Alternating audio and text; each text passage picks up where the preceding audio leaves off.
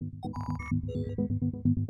What is good, everybody? Hope you're all doing well. Welcome back to more esports talk. As in breaking news, guys, about an hour ago, that's going to be Call of Duty League changes. Worrying for investors, but great for the rest of us, so I really can't complain too much. First brought to us by Adam Stern. Apparently, a rollback of some Call of Duty events out there. We're not sure about the exact structure so far. If you guys were aware, though, it was going to be pretty much almost half the year, almost every single week, seeing events, sporadically seeing teams at some of the events, but not others. Rarely would we see all of the teams actually at the same event, and the typical format would be you win your series, you lose your series, and then, and then you go home. It was a very weird format. Many people out there questioning if this would work out in terms of actually wanting to watch your best team or your favorite team out there compete once, maybe twice, and then all of a sudden you, you just you know you're done watching. Uh, with this alpha, also information out there, guys, apparently reduced amount of events, and most importantly, now brought to us and reinforced by Charlie Intel, we should be seeing a tournament structure also brought upon, which means competitive COD LANs will still be a thing, which is what everyone wanted.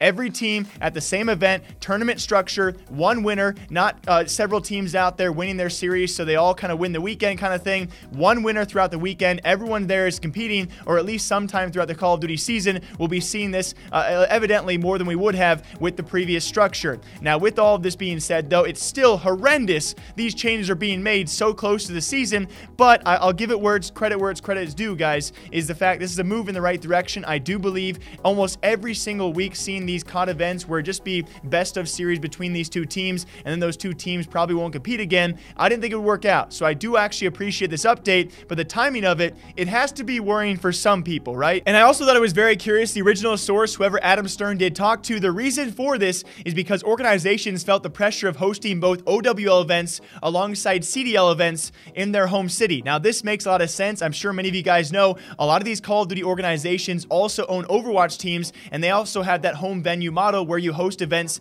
in your city throughout the year, it can be pretty, you know, uh, especially with these new teams out there, these new staff as well, having to host events for both OWL and CDL. I understand that can be nerve wracking, having to do all of that and coordinate all of that stuff. I can't imagine the pressure, especially for two separate leagues in the same year, and especially with the schedule. Sometimes you could be hosting events, maybe the same weekend, maybe back to back weekends. That can be a lot of pressure to put on any esports organization out there, and that's why they're backing away a little bit from this model. We don't know the total new restructure. I will say, though, overall, a great thing for talent, a great thing for players and viewers. It puts a lot more, I would say, not necessarily pressure, but a lot more prominence on these events, especially a tournament structure where we see, if not most, all the teams there competing, and certainly puts more of a I don't know. I enjoy it more myself. You guys can leave your thoughts down below. I'm super excited to see how this does work out. In breaking news, Call of Duty is already restructuring their 2020 Call of Duty League format, which is pretty shocking. I will say it's great for all of us out there, but if I was an investor who just dumped 25 plus million dollars into a league who, by the way, has not figured out who is hosting what at what point at what week,